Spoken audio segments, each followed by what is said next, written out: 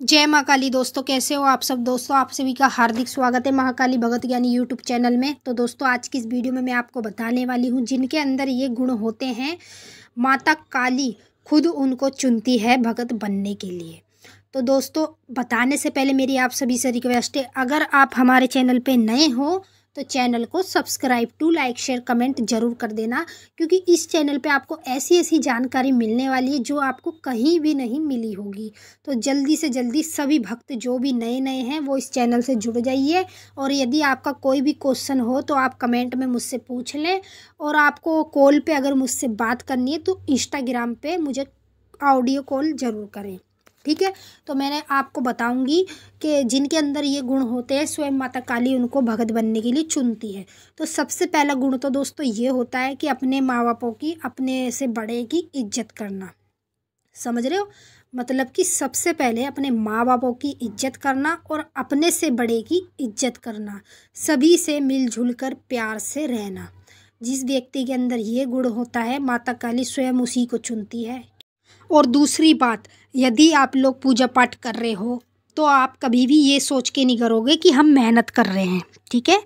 आप कभी भी अपनी पूजा पाठ को मेहनत के मेहनत सोचकर कभी नहीं करोगे। आप समझोगे कि ये हमारी चाहत है, हमारी चॉइस है, हमारी श्रद्धा है, जो कि हम माता काली की पूजा पाठ कर रहे हैं। और एक बात मैं आपको बताऊँ, माता काली की पूजा पाठ हर कोई नहीं करता। जिसको माता काली चाहती है, वो ही व्यक्ति माता काली की पूजा पाठ करता है। हर किसी के बस की बात नहीं है और जो व्यक्ति करता है माता काली की सच्चे दिल से पूजा पाठ, माता काली की आराधना, जाप, मंत्र का सब चीज़ करता है, वो व्यक्ति माता काली की नज़रों में अच्छा रहता है हमेशा। और माता काली उसके हर कदम उसके साथ खड़ी रहती है, हर चीज़ में उसका साथ देती है, चाहे अच्छा समय हो, चाहे बुरा समय हो। ठीक है? तो ये गुण भी अगर आप लोगों के अंदर है तो माता काली ने स्वयं आपको चुना है भगत बनने के लिए। और तीसरी बात ये है दोस्तों, कि तीसरी बात, जब भी आप अपने घर में पूजा पाठ करते हो तो आप ये सोच के नहीं करते कि हम पूजा पाठ कर रहे हैं तो हमें उसका फल मिलेगा। हमें अच्छा ही फल मिलेगा। कभी आपको अपनी पूजा पाठ को इस समय नहीं सोचना चाहिए कि हम जो भी अपनी पूजा पाठ कर रहे हैं, इसका फल तो हमें ही मिलेगा और अच्छा ही फल मिलेगा।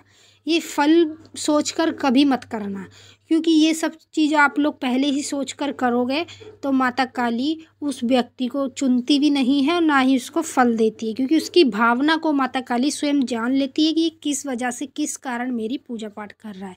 तो ये चीज़ कभी भी सोच कर आप लोग पूजा पाठ मत करना। आपको मैं एक बात बताऊँ, बस आप अपनी पूजा पाठ को कंटिन्यू करते जाओ। ये सोच लो कि ये हमारी जीवन भर की जॉब है। नौकरी समझ लो, माता काली के सेवक हैं हम और ये हमारी ज़िम्मेदारी है कि माता काली की पूजा पाठ करना। ये सोच के जो व्यक्ति करते हैं, माता काली उनको पार लगाने में एक सेकंड नहीं लगाती, एक सेकंड जिसे कहते हैं। अगर ये गुण आपके अंदर है तो आपको भगत बनने से कोई भी नहीं रोक सकता। और जैसा माता काली आपके साथ चाहेगी अच्छा ही चाहेगी और अच्छा जब चाहेगी तो उसको भी गलत करने के लिए कोई भी नहीं रोक सकता। इस बात का ध्यान रखना आप लोग, ठीक है? और चौथा गुण ये है दोस्तों कि अपनी पूजा पाठ को कंटिन्यू करना और अपने टाइम टेबल से सभी चीज़ को जो व्यक्ति करता है, पूजा पाठ, आराधना अपने टाइम टेबल का कंटिन्यू है टाइम टेबल का पाबंद है। वो व्यक्ति माता काली के लिए सबसे अच्छा होता है क्योंकि इस, इस जगत में सबसे ज़्यादा इम्पोर्टेंट होता है टाइम टेबल यानी कि हम अपना टाइम अगर माता काली को दे रहे हैं उनकी पूजा पाठ में लगा रहे हैं तो उसका फल जो हमें मिलेगा वो अच्छा ही मिलेगा। आपको कभी भी ये सोचना नहीं है कि हम पूजा पाठ कर रहे हैं तो हमें कुछ फल मिलेगा। ये सोच के कभी आपको पूजा पाठ नहीं करनी। बस आप अपनी मेहनत करते जाओ कंटिन्यू जैसा आपकी किस्मत में लिखा है, वैसा आपका होगा, उसे कोई नहीं रोक सकता।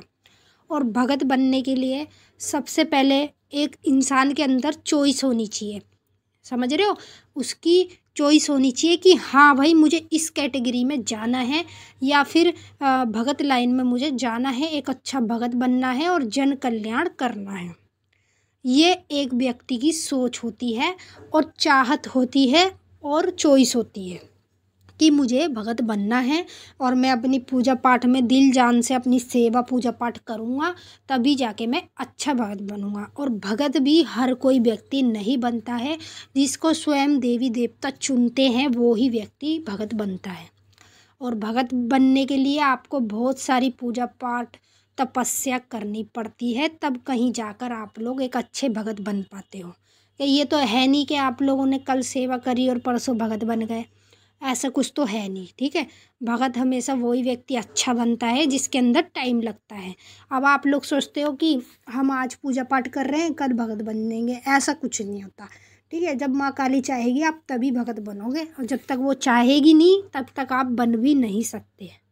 भगत बनना इतनी आसान बात नहीं है। इसके लिए पूजा पाठ और उसके साथ साथ सिद्धि साधना, इतनी पूजा पाठ करनी पड़ती है कि बंदा अपनी सेवा दिन रात जो करता है, वो ही व्यक्ति इस चीज़ में कामयाब होता है।